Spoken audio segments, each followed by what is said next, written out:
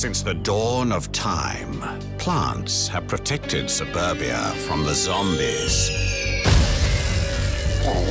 But now the world has changed.